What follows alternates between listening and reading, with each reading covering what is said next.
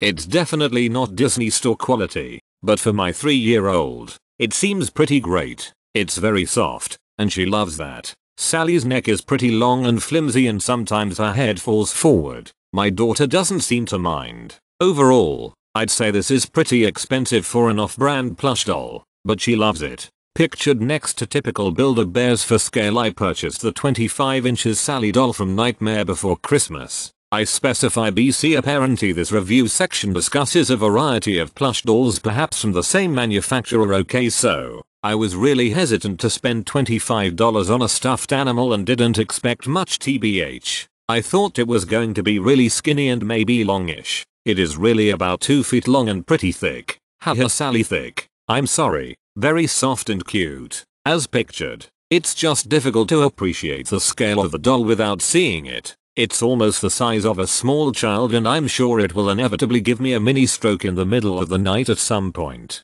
May I I'm still a little steep on the price, but my daughter will adore it and it's a quality item. Would recommend. What a beauty. Great quality and great size for hugging. Gifted this to a 4 year old who is a fan of the film and she loves it. We wanted Jack and Sally for our Christmas tree this year. Sally is soft and beautiful and she looks perfectly happy with Jack Skellington by her side. I got this Sally to go along with my son's Jack plush that we got 2 years ago. It was a perfect match. My son absolutely loves it. Highly recommend this Sally plush doll.